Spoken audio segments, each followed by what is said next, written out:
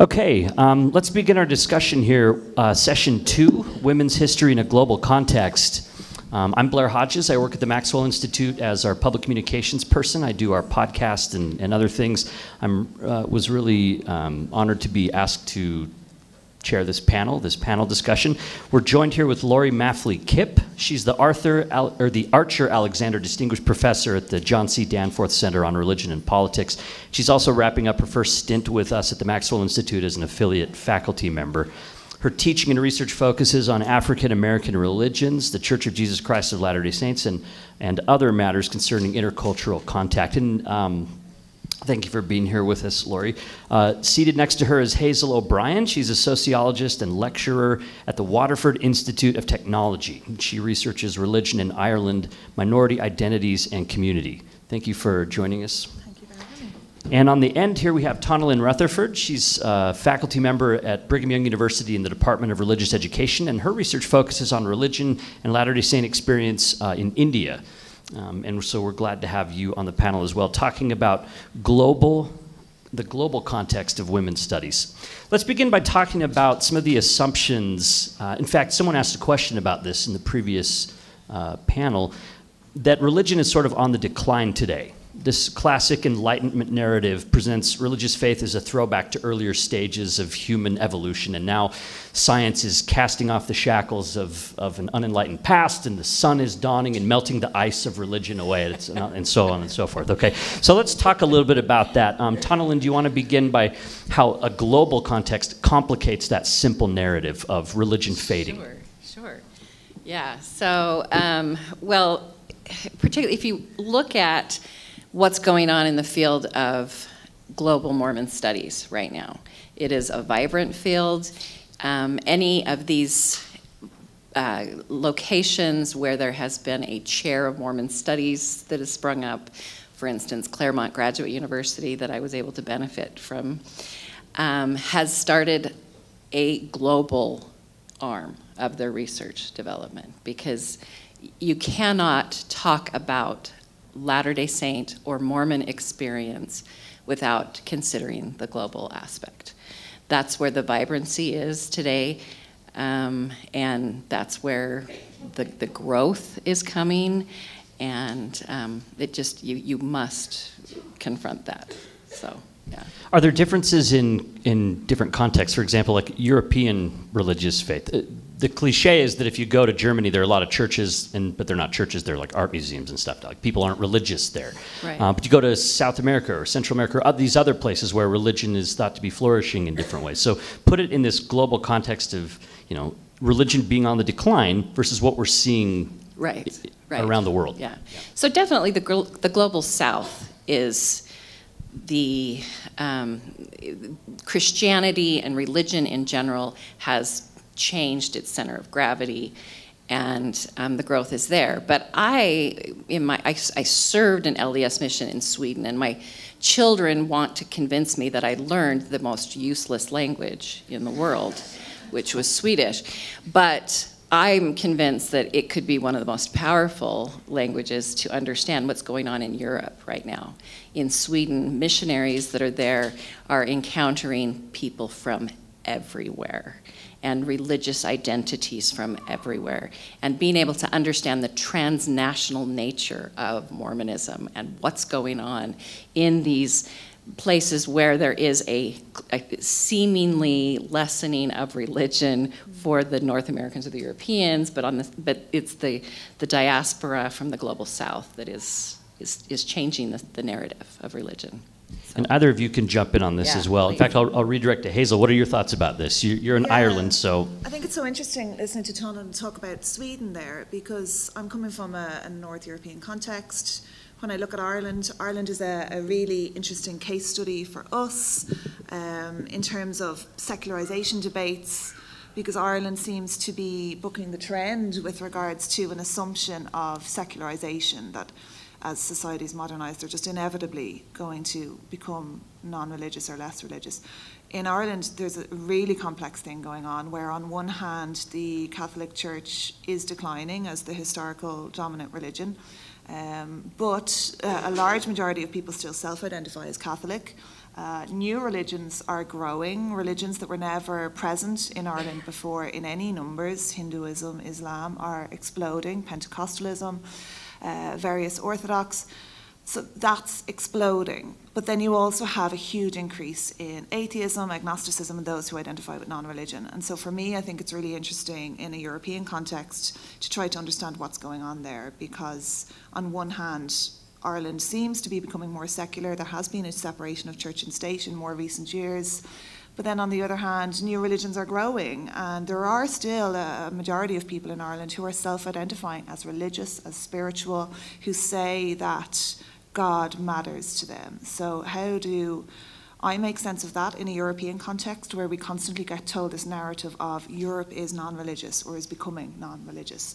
What I've found is that the story is much more complex than that. I think it goes back to what people like Danièle Hervieu-Léger or Grace Davie have said, which is that it might not be that Europe is becoming non religious, but it might just be that the nature of European religion is changing.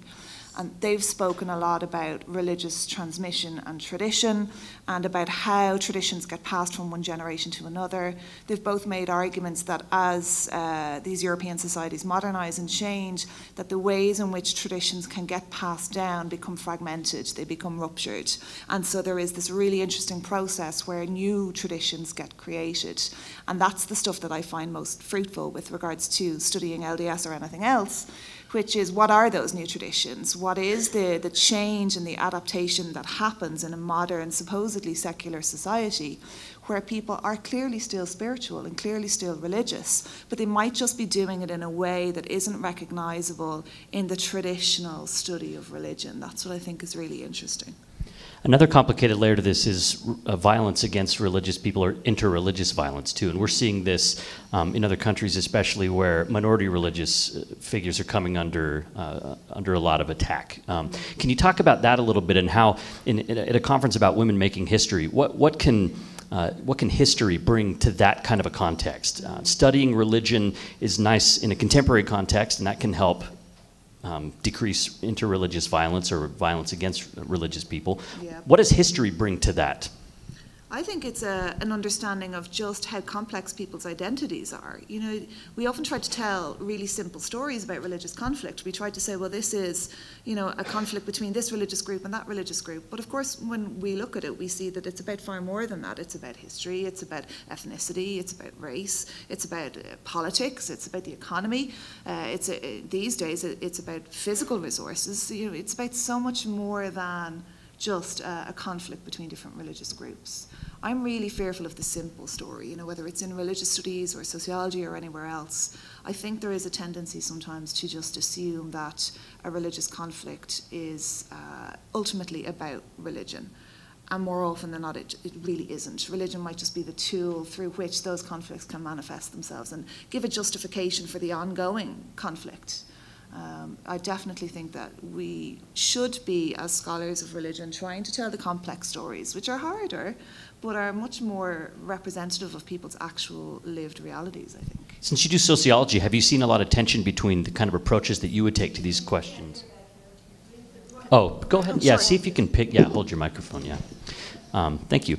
Um, you're a sociologist. Do you see differences or tensions between the kind of work that you're doing and, and historians that aren't taking a more sociologically informed approach? So, in other words, how is this working out in the academy? Like, what kind of tensions come up in the academy when we're saying, what's the best way to look at this history and to look at how it applies to the present situation? Yeah, and I actually think it's so interesting just to look at the different biases that different disciplines have towards each other, actually. And it's been really interesting to be a sociologist this week in a history orientated uh, forum.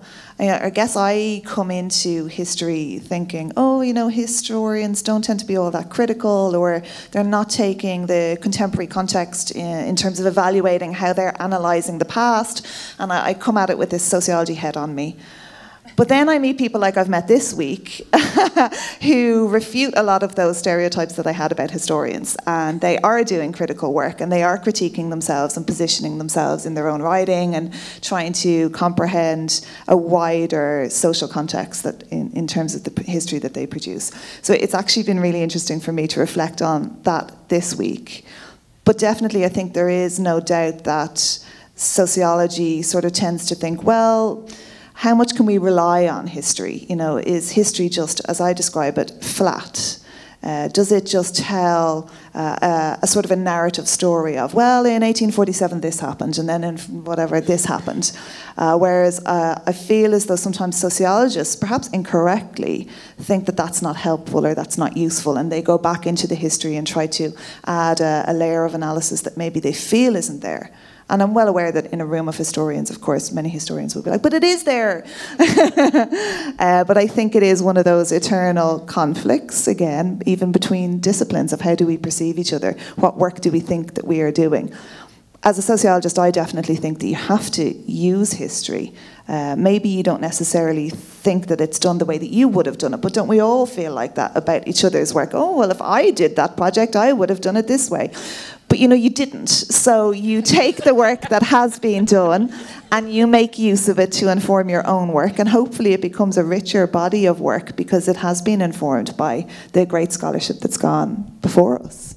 Yeah, to continue that, Laurie, I would like to hear you talk about the, the personal stakes that can get involved in being a historian. Uh, one of the criticisms that someone might make of a historian or stereotypes is that they're just telling chronology about the past, right? And, and that's all well and good, but we have problems in the present that, that need to be addressed. So, Laurie, what are your thoughts about that? And this kind of gets into the territory of public advocacy and activism versus history and tensions that crop up between those different exercises. Yeah, I mean, I can't imagine disconnecting those things. I mean, none of us do in our lives, right? Our, our, uh, we see the ways in our own country right now that people are invoking history um, to all kinds of ends. Um, it's extremely important to um, not just to understand a narrative of the past, but to think about the way we look at the past itself. And um, although I'm a historian, not a sociologist, I mean, of course, the, the common lament is that sociologists don't know their history.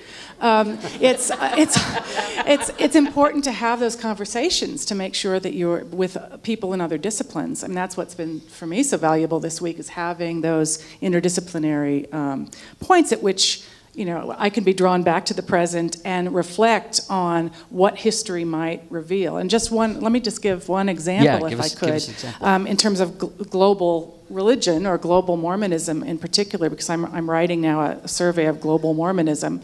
And, um, you know, the, the history of Mormonism has so often been written as a history of an American church that now becomes a global church. Well, in fact, it was a global church at the very beginning, and the church in the 19th century was an immigrant church.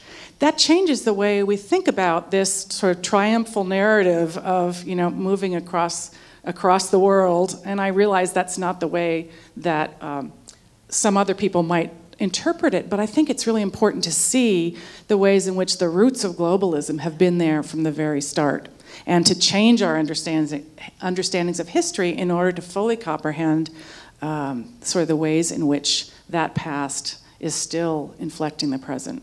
Yeah, so how would you then take that new narrative and apply it to questions or experiences that people are having today? I think an obvious avenue would be there's there's a lot of tension about immigration and immigrants and, and this type of thing. What, what do these historical narratives bring to the table in these conversations? Oh gosh, lots of things. Um, I think you know it, it it might change the way we think about um, questions of the the, uh, the, ways that the church has had to um, to respond to sort of outsiders over time, as you're saying, sort of the, not just the immigrants, but also keeping in touch with people in other places, because there are a lot of people. Um, because of lack of resources, or because they were old, or because they were sick, couldn't leave where they were. So there have been you know, members of the church abroad all the way along. Um, but I think now it's there are certain tensions within the church over globalization now that we're thinking are just new, and certainly the scale of it is different now. But the issues aren't new. Um, there are many ways in which you know the church throughout the 19th century had to deal with language problems and with you know, what should we be able to have a Swedish ward, uh, you know, in, in Utah or a Danish ward? So those kinds of issues, I think we we can the past can shed a lot of light on um, maybe new avenues in the future. Do either of you have? yeah, please. add, um, talking about interdisciplinary the oral historians in this room, just raise your hand if you've worked on an oral history project. I mean, you can see that it's it, that's an important aspect, and we're working with sociological and anthropological tools in, in doing that. But we're creating archives, right? And it, the need for each other. I think about the principle of Anekantavada in Jainism, manifold aspects that we need. It's like looking at the elephant, right? All the blind men looking at the elephant.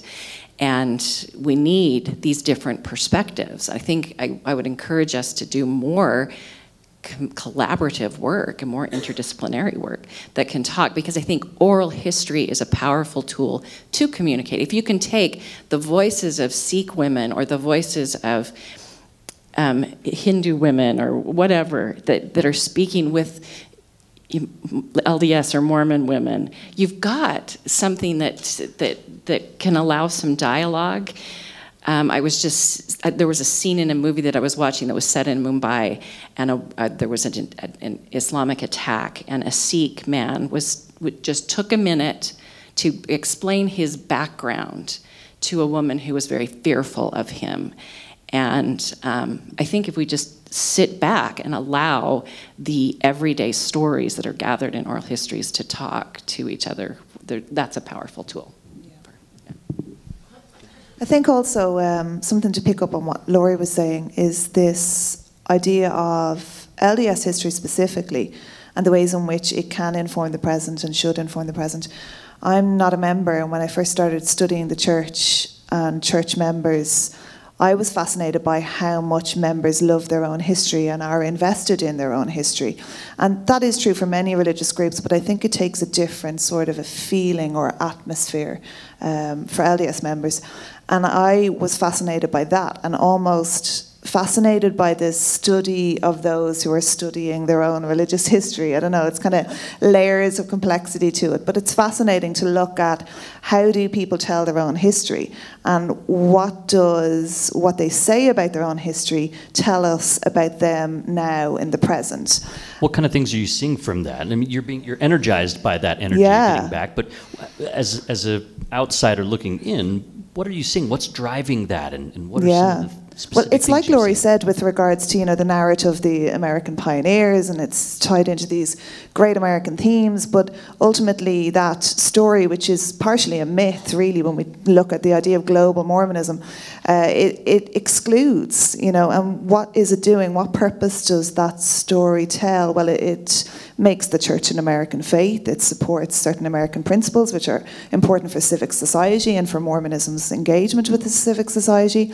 And so you can see that that story serves particular functions um, with regards to the association between Mormonism and Americanism. But how that is not a useful function when you take the church outside of the US is really interesting, and how, in fact, it can be counterproductive. Let's talk about some of the ways that it can be. Um, Taunalyn, I'll, I'll address that to you. You've done work on Latter day Saints in India. Have you seen that? This idea that Latter day Saints will say it's wonderful. You can go anywhere in the world and go to a Latter day Saint meeting, and you'll all be saying the same things and having the same lesson and having the same church experience. Let's, let's hear about that. Yeah, I think I have to point to Colleen's work on this in her chapter on converts.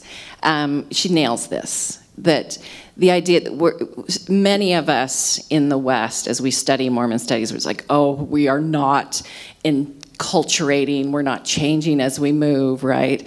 Well, a lot of the converts from the global South are drawn to the tradition because it's got a global identity, because uh, congregations are so mixed and there, there's all sorts of different populations and trying to find a dominant culture is problematic so i've seen especially in my work in india i've seen um, latter day saints utilize the term gospel culture as a resource to actually take endogamous or non-endogamous caste marriages, like two different castes or people from different parts of the country, and bring them together and say, we do we do gospel culture in our home rather than anything else whatever gospel culture is right? I mean the whole idea of identifying that is is fraught.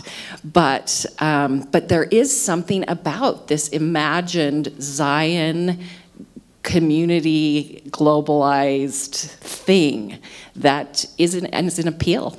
So, yeah. Yeah, I, I absolutely agree with everything you're saying, Taunalyn. I think there's another side to it, though, too, which is that sometimes it works, it's counterproductive.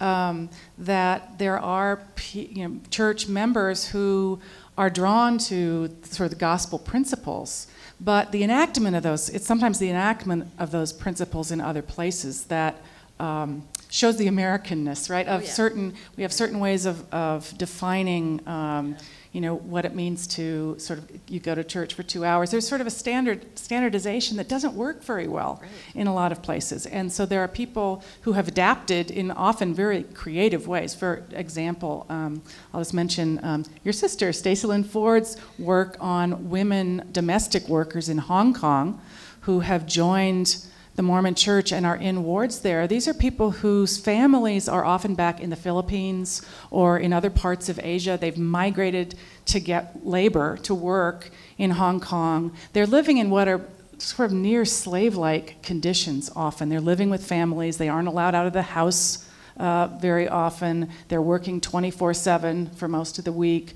Some of them sleep on the floors of the children's rooms, they're taking care of the children, or they sleep in the bathtubs as she described. It's, it's, it's difficult, difficult conditions. But these are women who go to church on Sundays and they spend the day there. They bring, bring everything for the day because they can have a meal together, they can have, it's their one time of the week um, to have fellowship. And they don't have families close by, They're, they sometimes get home. But so then it, it makes you stop and think well, what does the whole idea of family mean? In this context? How does it work? How do we understand the function of the church? The church has to work very differently. So there are ways um, in which that's both a frustration and a, sort of an opportunity for adapting certain things that um, are, need to be, or you know, in certain circumstances, need to be adapted. Yeah, I, I, spoke with Colleen about this on, on the Maxwell Institute podcast. This idea that American feminism doesn't always translate well um, in other countries. Let's let's talk about that a little bit. About some of the concerns that face um, usually, typically white American and, and, American feminism has a very white history to it as well. It's uh, it's it's changing now. But let's talk about how views through a feminist lens in the United States don't always resonate with women in other countries when it comes to Latter day Saints in particular. Um, does anyone want to begin on that? Everyone wants to hear Hazel's voice. Yeah. yeah, please. uh, well, definitely, I think in a European context, a little bit like Colleen was saying earlier, that feminism can be a dirty word. Uh, and I think that's, that's really interesting. It's fascinating to think about why that might be. Um, I think it might be because, on one hand, you have a narrative that feminism has achieved its goals and so therefore we don't need it anymore, supposedly. And then on the other, uh, an idea that, well, feminism actually gave uh, the world a lot of things, but they might not necessarily have been useful. And so we should reject it because actually feminism was never a good thing in the first place. And, and both of those two perspectives combine to lead to a situation where people are reluctant to identify with feminism, even if they themselves, it appears to me, are stone cold feminists. So uh, I've had this a lot in relation to Mormon women where I speak to them about the word feminist and they will reject it. They'll say, I'm not a feminist. But I believe in social justice. I believe in fairness. I believe in equality. I believe that in all levels of all structures, including within the church. And so I'm really fascinated by this contradiction where everything that they're saying and doing is inherently feminist, but they won't use that word to describe themselves. And I think we have to be careful then that we might simplistically look at the likes of survey research where you know you might get asked a question like do you identify as a feminist? and somebody ticks the box no and we move on. And then we then say stuff like well you know 70% of this mormon sample said that they weren't feminist. But that doesn't really get to the heart of the issue because when you do in-depth interviews with people you'll find out that they are very committed to feminist goals. They just use a different language to describe it uh, and I think in the States, perhaps, the label Mormon feminist has very particular political uh, meanings behind it in a way that doesn't operate the same in other contexts. But that doesn't mean that the principles behind it aren't still relevant for women outside of the US or they're not engaging with that. But they're definitely using a different form of language to try to articulate how they feel about things.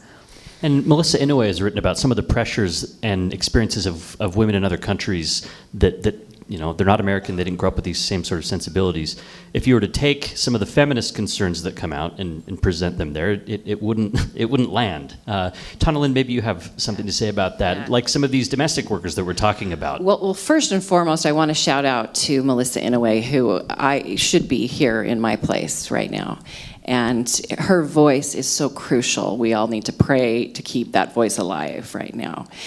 Um, she has a book that was just written and published by Deseret Book in the Religious Studies. Um, at her Crossings book, and there's a chapter in there where she talks about and the about Maxwell Institute. and the Maxwell Institute. I'm so sorry. Available now on Product Amazon and. Deseret bookstores. No, but really, it is so important. It is so important, and the way the, the way she's addressing using feminist work to talk to the general public in ways that, that are very palatable and very helpful. Um, but I would also add that we think that the United States is the only place, or the it's the only place where there's a women's movement. There's a, clearly a women's movement in India and has been for years and years. And the women that I interview there are very aware of that. They never use the word patriarchy in a positive light. It was always very pejorative. They were trained. The word itself has the a word itself. that- okay. Yes, yes, absolutely. It's very we, we we have a patriarchal society that we're fighting against, and it's the priesthood that actually liberates us. So I see Elizabeth Brusco's work confirmed all over the place that in the global south as women have been drawn to religions that stress morals and families and, and who that control their husbands and and their machismo, right? Um, that they're actually liberated. That it's a more effective tool. That evangelical religions are more effective than feminism, right? To liberating women. Um, and I think a lot of women in the global south will articulate that with the caveat I'm not seeking for priesthood. I don't want, you know, I'm not trying to fight here, but absolutely.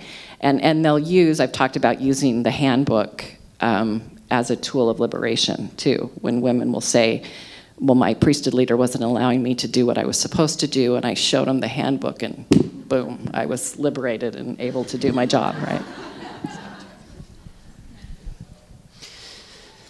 Um, let's let's let's keep kind of going down this road. For for example, the ideal woman. Let's picture the ideal woman, and and religious communities will often talk about what an ideal woman of God would be, the qualities. And you can go back to Psalms and read the little characteristics that the Hebrew Bible lays out. Um, but how that plays out in different cultural contexts uh, is, is usually more complicated. And a, and a church that's trying to be global, like the Church of Jesus Christ of Latter day Saints, runs into difficulties because depending on which context, you could be way more progressive than the host culture, or you could or be in tension with where the host culture is. So let's talk about that a little bit in terms of women, in terms of what the ideal woman is.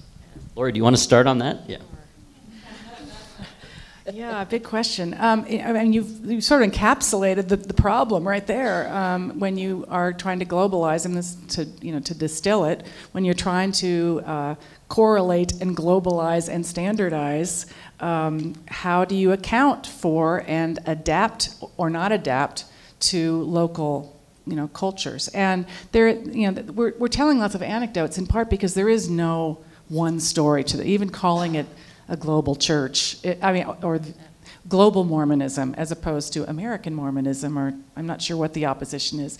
It always, I always sort of bristle at that because there is no one global Mormonism, right? There are many, many different kinds of contexts, and as Taunalyn has just said, there are lots of places in the global south, in Africa, and in, in uh, Latin America in particular, where what women that I've talked to want more than anything else is a nuclear family and is a situation where they can stay home with their children. It's a deeply, what we would see as a deeply conservative, probably more in keeping with the traditional Mormon family norm.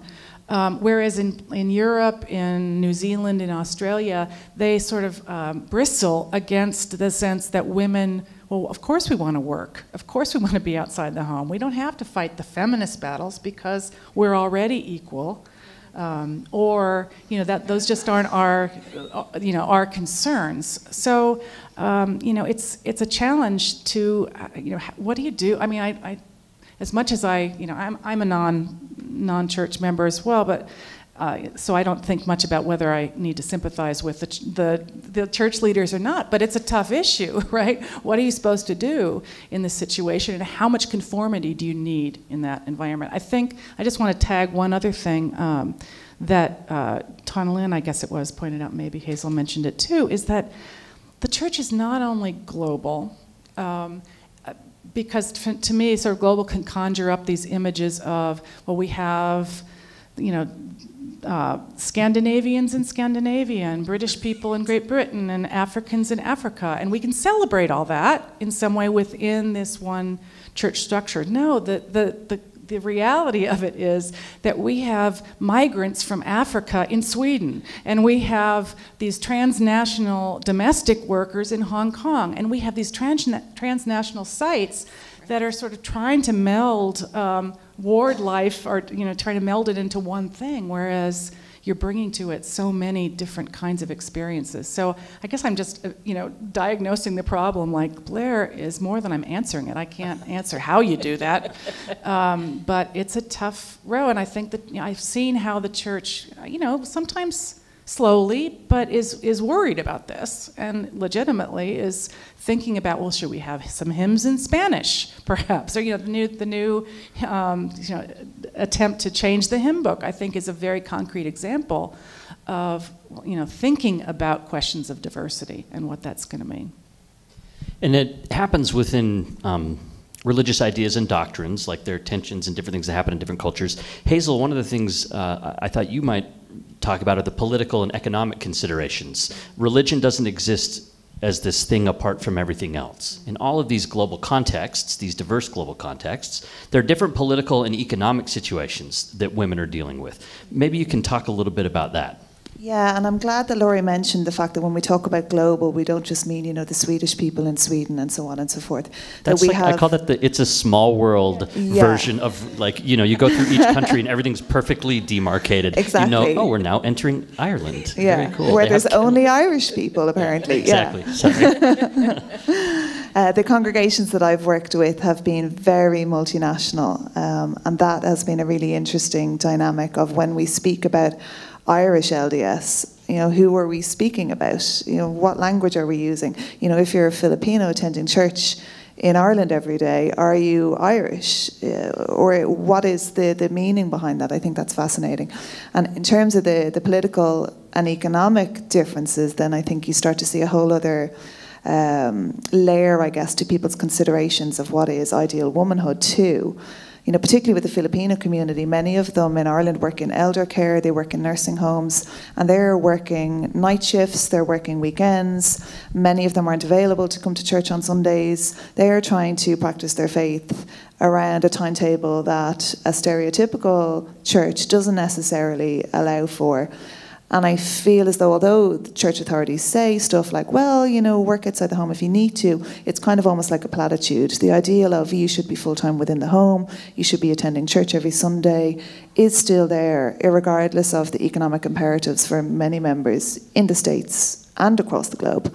Uh, and it's that how do we come to an understanding of the diversity of people's experiences, that everybody has different pressures on their lives that are going to intersect with their religious practice, and how do we accommodate that uh, and not judge them for it, not think that they're lesser LDS because they have to work on Sunday or because their white shirt is in the wash, or, you know how do we accommodate that and just reflect that that's just the reality of people's messy, complex, diverse lives, and it still makes them good LDS. They're still committed members uh, and really truly believe that. I think that's really the challenge.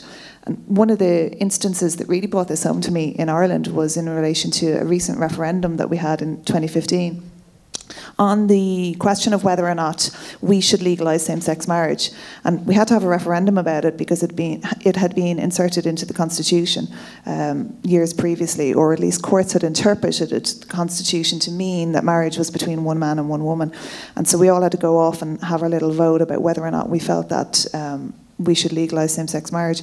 I think Ireland was the first country in the world to legalise same sex marriage this way through referendum rather than through legislation through the Parliament. Um, and Ireland did vote in favour, I think it was 70 something percent voted in favour of it. But I was doing my fieldwork with Irish Mormons around about that time, and it was in that stage where I think there may have been similar debates in the States with regards to maybe California, and the church had come out quite publicly with regards to their opinion on that issue.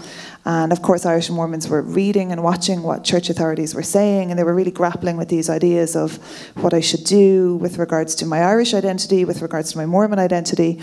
And many of them, most of them, told me that they were going to vote yes for same sex marriage.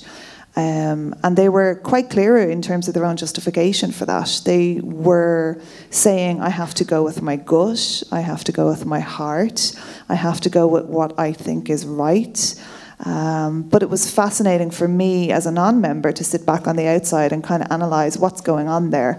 In essence, what they were being asked to do was kind of make a choice between their religious faith and their, I guess, their social identity as an Irish person. I think we forget sometimes when we talk about religious minorities across the globe that they're not separate from the societies that they live within. You know, they don't live in a hut somewhere under the ground. You know, they, they work in these communities, they parent in these communities, they volunteer in these communities.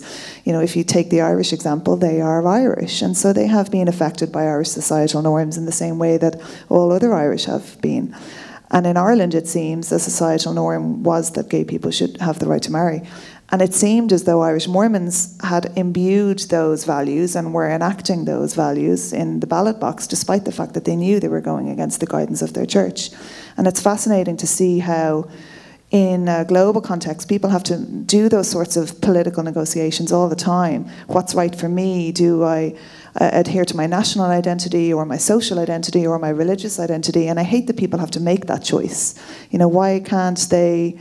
Uh, be a committed LDS who just happens to believe that same sex marriage should be something that uh, can be legal in a country. It seems in Ireland that they felt that they wanted to be able to express that, but that maybe the global church doesn't necessarily allow for that kind of complexity. And that tension doesn't just exist with contemporary issues like, like same sex marriage, it also um, happens when Latter day Saints employ history in certain ways. So, Latter day Saints have particular stories that they retell that you'll see in church curriculum or that you'll see through church film productions and things like this. So, for example, pioneers going across the plains, Laura, you, you mentioned this. This is a very uh, prominent part of my Latter day Saint upbringing. You know, we would celebrate the holiday every July. It was like having two Fourth of Julys. It was awesome. Uh, you know, we'd have an extra parade and all of this. But I can't imagine sitting in in a meeting in India and hearing someone stand up and talk about someone pulling a handcart. Taunalyn, do you want to talk about how uh, history and that's kind of where you're wrong. Tensions? Okay, actually, um, I wish I had my slides with me, but there's some amazing pictures. Actually, the stake that I studied had a, a tradition. It was Pioneers Day. And um, they were very sensitive to the fact that they are pioneers that each of them are pioneers. And they would utilize that identity to talk about how we are going through, we're having to leave our family, um, and facing very difficult opposition like the pioneers did, right? So there's a, a, picture of actually they constructed a hand cart. It was a huge hand cart that fit several people on it that they were pulling.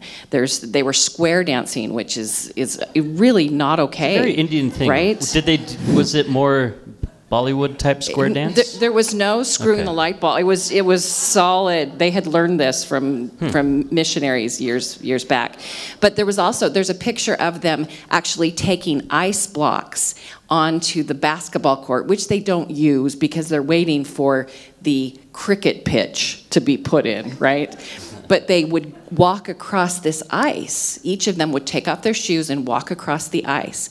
And then they went inside afterwards, and John Maralla, who was one of the pioneer members, one of the first baptized in the stake, he talked about how each of us are pioneers right so that is infused they and it is it's i charted it three years in a row and it's continued to be part of their stake identity do you think they'll get to a point where what was the person's name? John? John Morala. Yeah, will, will there get to a point where they reenact John what would they reenact? Him reenacting? I don't know. Well, But he and in other his words, family of 28 change? who were all baptized, Yeah. right? I mean, that's the idea, right? That as we do the history and involve people in making their own history, that can become part of their own identity, their, their narrative. Of that takes time to build those. Uh, right? I mean, we, we've got a lot of people here from the church history department that, that are very much working on that. I would point to the global histories that are on LDS.org. There's fantastic work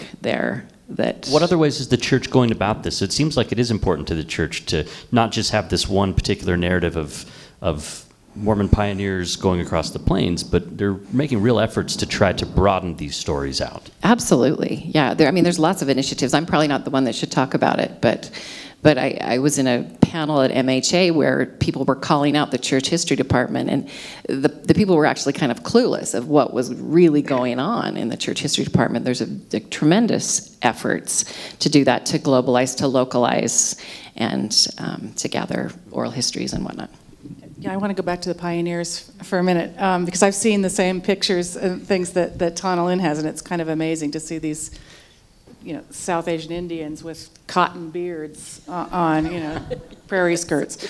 Um, that said, I think it's really uh, the other piece of this, though, that's really important to point out is the ways in which, I mean, there are a lot of Native peoples who are Mormon as well. And that image plays very, very differently um, in Native American communities. The idea, the whole trope of the pioneers and frontiers people, that those are images that are not, that, that are sort of filled with memories of displacement and violence. And I'm not saying this to, you know, just to lay guilt into this, but it's important to see the ways in which that history doesn't always um, resound or, or translate easily into, oh, it's wonderful, we're all going, we're pioneers going to Zion. It's also important as a historian, I actually just did this the other day, I was thinking, I wonder when the terms pioneers and frontier started to be used in a Mormon context.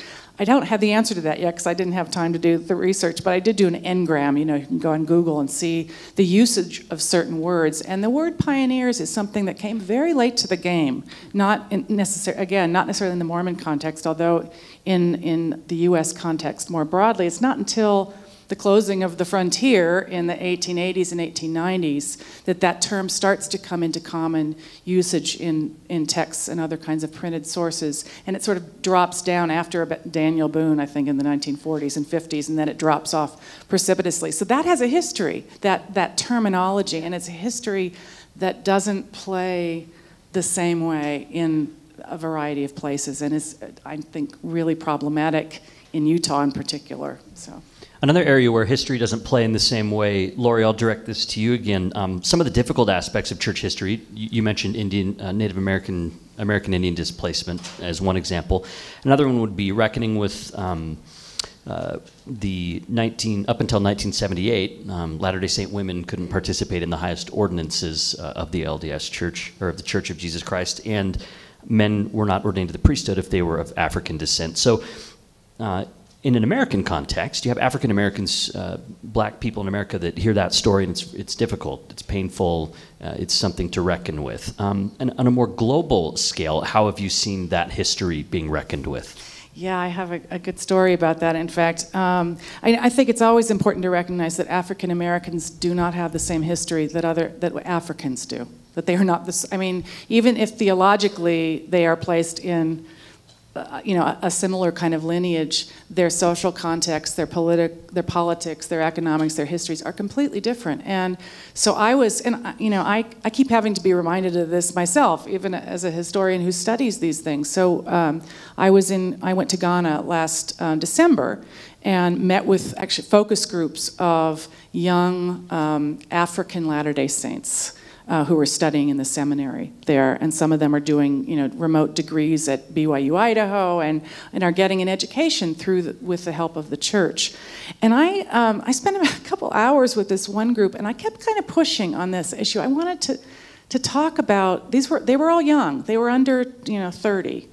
Um, which to me, uh, the older I get, the you know, the more that age will go up, I'm sure. But um, they, uh, they were. Um, I kept saying, well, what about you know, what, was your impression of the missionaries? Is it uh, what did you what what did you think of these sort of all white people showing up in there with their name badges and in the fancy cars and with the big fancy temple behind the gates and um, I, you know, I was sort of prodding them because I wondered, do they have this? What is their relationship to this priesthood ban? And finally, um, you know, none of them were biting at all. And finally, um, you know, the, the, it was clear that they're focused forward. All these young people in Africa are, you know, they weren't born then. For them, it's ancient history, even if they know it. But finally, this one guy said to me, You know, that's your problem in the United States. That's not our problem. You know, we have lots of other problems, but that's not one of them. And they don't see, apparently, they don't see the church. Um, because you know, like other American churches, it has given up its racial restrictions. I mean, there were other churches that had racial restrictions. So, seen from the perspective of a rising generation of uh, West Africans, the priesthood ban is not there as an issue. Now, that's not to say it's not really important in some quarters, but that's not the place to look, I think, for a kind of interest in um, sort of how that came about. Nonetheless, it's an important history, I think, to, to uh, yeah, I think be honest the, about. the way that religion is experienced by people in those contexts differ. So, right. um, black members in the United States are in a clear minority in the church, and so the pressures that they experience at church are going to be different than what someone in a West African congregation might face, right? Oh, absolutely. I mean, the, you know, the biggest problems um, of people that I talk to in West Africa are just basic issues of economic sustenance and poverty. Um, they, and many of them, I, several of them, use the term, um, I was looking for greener pastures, which I guess you can take as both a sort of in a scriptural sense, but in an economic sense as well, that the church offers people real opportunities there that they can't get elsewhere for women as well as for men. In fact, more for women. I would say that the, the opportunities for literacy through church programs there are, um, there are more women taking advantage of those now than men um, by and large, and women see the value of being able uh, to access the resources that church membership can offer. In 15 minutes, we're going to open it up for 15 minutes of questions. Uh, before we get to that, the last subject that I wanted to cover is some of the logistics of doing women's history in a global context. So there are some people in attendance today that are um, working on degrees or thinking about working on degrees. So I thought it would be helpful and useful to talk about some of the triumphs. I want to hear some triumphs, some good stories and experiences, and I want to hear some wish list items, some things that you uh, think are outstanding yet to be completed or yet to be started. So um, who wants to start with that? You can start with a triumph. You can start with something for a wish list. Uh, whatever you'd like. Who, Taunalyn, why, why don't you start? Um, so I would say that one of the huge triumphs is um, Laurel Thatcher Ulrich's good friend Claudia Bushman, who started the Mormon Women's Oral History Project at Claremont. And that has changed the way I have perceived and done my work. It created my my tool for my dissertation, and um, I think that's one of the great triumphs is the growing number of um, archives and oral history projects, and, and they should continue and proliferate, and, um, and they will. But like I said, the Claremont Oral History Project is continuing as the global Mormon History Project. Um, and you can look at, I'm just going to give you some resources here. Um, if you go to mormonstudies.cgu.edu slash global slash, okay? Um, one more time, mormonstudies.cgu.edu slash global slash, or just Google. There's um, a great page that gives you some resources. Another really important triumph is of the brainchild of Melissa Inouye and, and others who have started the Global Mormon Studies um, Initiative, or no, it, this, these guys you can find at globalmormonstudies.org and it's the Global Mormon Studies Network. and you can be a part of that network. I encourage anyone who has a slight interest in this to get there. Anyone who meets anyone anywhere in the global church or in diaspora here in the United States who has any interest whatsoever, get them to these sites to just become part of the conversation. I think that's what we that's one of our things that we have not succeeded at is being able to nurture the next generation. And Melissa in her book talks about Confucian relationships, right? How we all have the someone that's our superior, that's our teacher, and those that we nurture. And we need to continue to do that. I feel like in my life, I have become, in my scholarly life, I'm becoming more of a connective tissue for people. My, I'm using my degree as a connective tissue to, to connect people in India who are not necessarily scholars to this project. Vinna Chindram is a great example of this. She's one that came to me and said, I I'm interested in what you're doing, right? And the next thing you know, here she is doing all sorts of amazing things in um, this work. So uh, the, the resources are out there. This is a growing field. Yeah. What are some takeaways from those oral histories? Like what, what becomes of that work? So this is basically researchers oh. are going and talking to people about their experiences. Well, it, you know, Claudia Bushman would say we're spinning straw into gold which is exactly what we're doing. We're creating the next archives. Um, and those, they, they're powerful when you hear those narratives.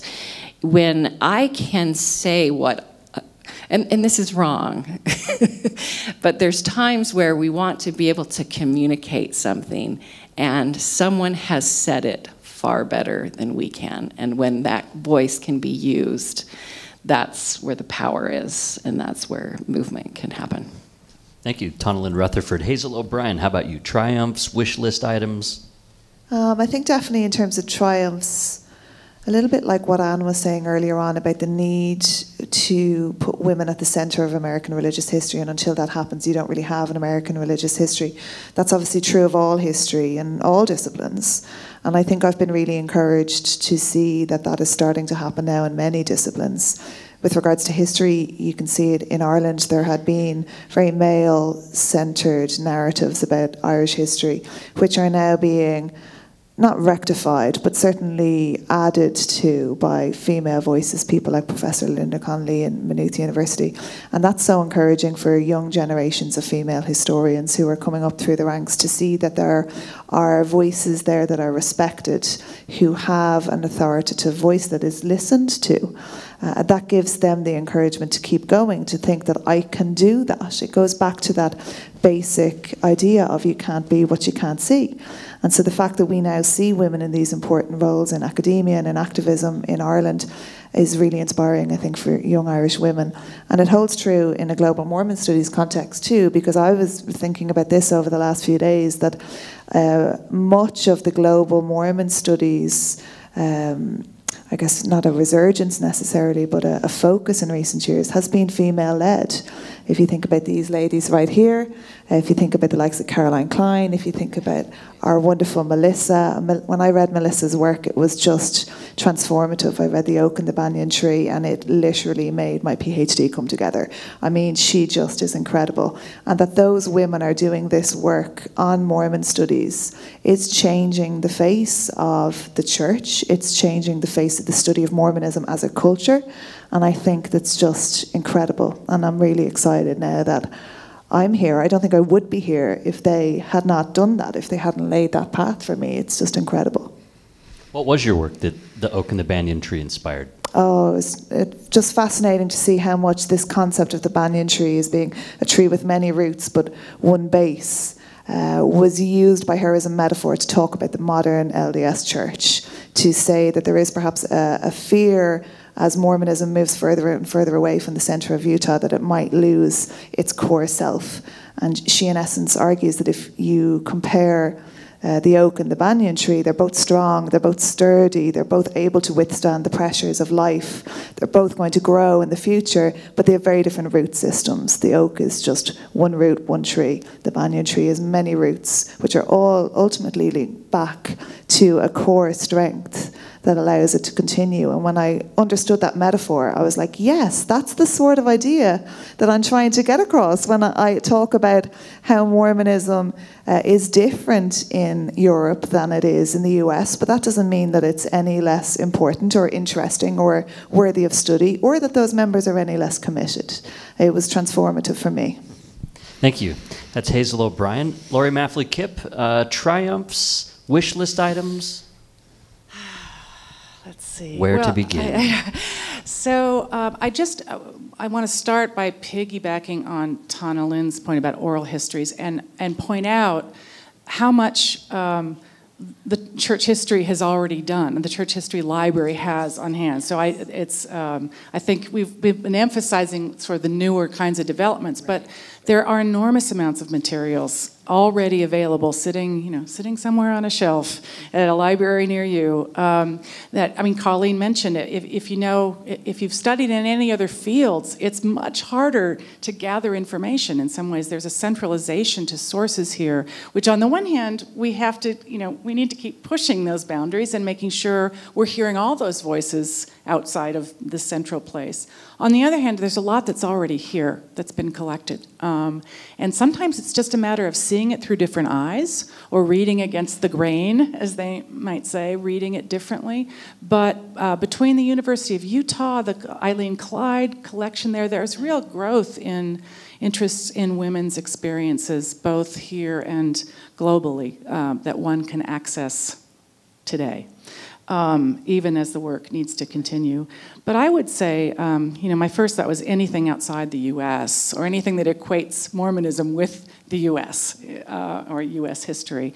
But um, more specifically, I think this, I, am just more and more convinced that this phenomenon of, um, of movement into the United States, so there are many, many um, immigrant communities today in the US, um, Mauritius, from Mauritius, from, uh, you know, from, Haiti, uh, from all kinds of places, that where Mormon wards are trying to figure out what it means to be Mormon and to be American, but still to retain ties and roots and connections to a very different kind of culture. So, lots of lots of work to be done there. Um, work on um, women who fit don't fit quite inside the the normative American family.